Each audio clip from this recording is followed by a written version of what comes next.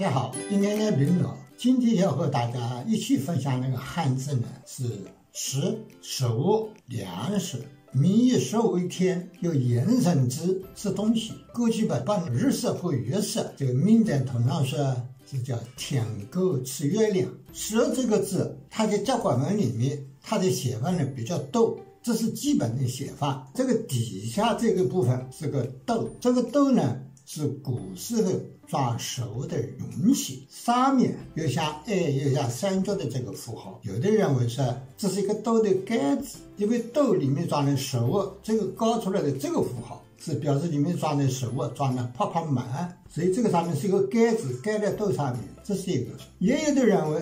这是一个倒写的口，意思就是说张口吃饭，嘴张开来是这里面的食物。甲骨文里面有的字呢，它里面呢还有几个小点，这个小点的意思呢，也可以说这是一个一个的反列，装的太满凸出来了，也可以看作是这里面的香气四液都飘出来了。这个点看你怎么理解。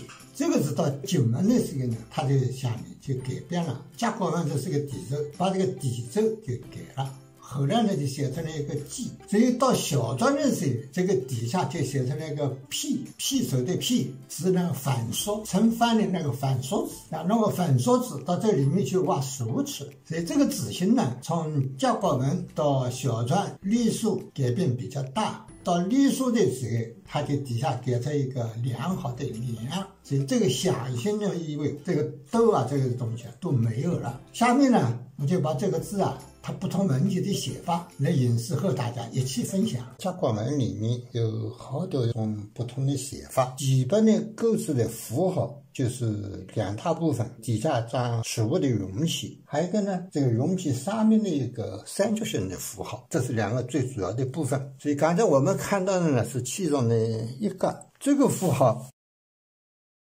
有的说这是一个容器的盖子。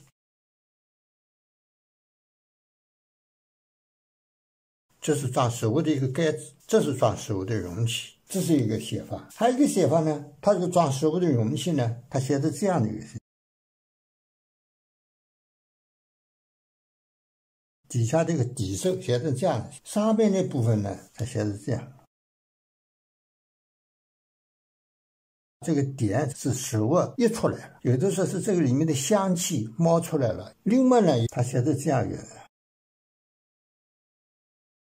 写的这样的，底下装食物的一个容器呢，写的这样，这个就是表示装的食物下面写的这样一个，这就是一种写法。还有一种写法，这个香气都跑到这个上面来了，底下是装食物的容器。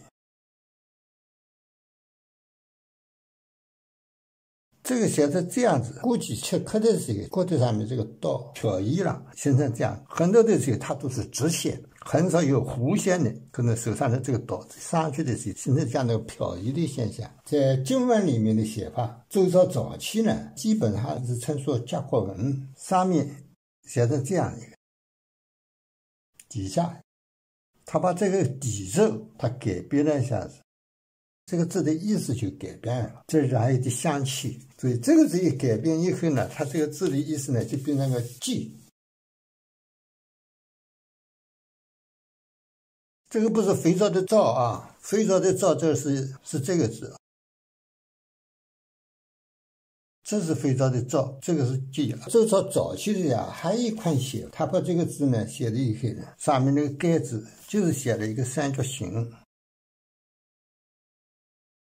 写成这样的一个符号，底下装食物的容器，写成这样，写的这这个字和这个字是都是这个字，所以到周朝晚期的时候啊，这个字就是变得更加明显一些。上面写的这样，底下呢？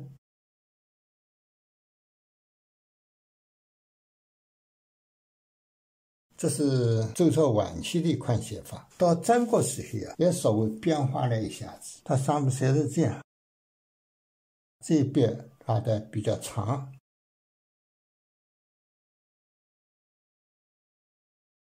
这是战国时候的写法，所以这个字基本上变化不是太大。小篆的时候，这个字呢稍微有所变化。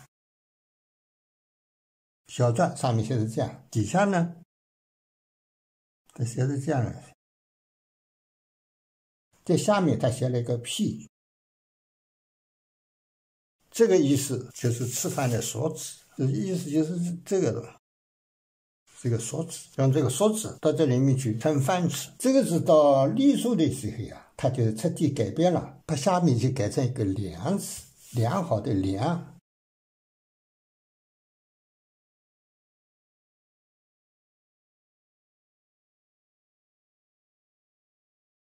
在那个铜钵庙碑里面，这个字就写成这样的一个形体。所以现在我们所写的这个“蛇”这个字，就是由这个隶书这个地方演变过来的。你楷书呢，把隶书里面的一横改成了一点，